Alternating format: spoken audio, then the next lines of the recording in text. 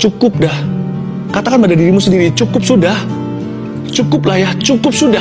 Apa yang di belakangku itu? Hal-hal yang mendukakan Allah, pesta pora, perjamuan, minum, penyembahan berhala yang terlarang, rupa-rupa hawa nafsu, pornografi, LGBT. Sudahlah, enough. Gosip, kebencian, kepahitan. Komitmenku pokoknya ke depan itu adalah mengampuni. Aku udah cukup pahit dari dulu. Masa mau tunggu selesai kepahitan waktu umur 80? Kalau kita izinkan sampai mati juga akan pahit hidup ini. Ada satu titik kita berkata, aku mau manis. Udah gak mau pahit lagi. Terserah kalau saya masih umur 18. Kan malah beruntung ya kan? Masih sisa waktuku jika lo hidup sampai 80, 780 misalkan. Sisanya bukan kepahitan, tapi kemanisan dari Tuhan, alias kebajikan dan kemurahan. Lebih cepat Anda mentas, lebih banyak, lebih banyak kemuliaan.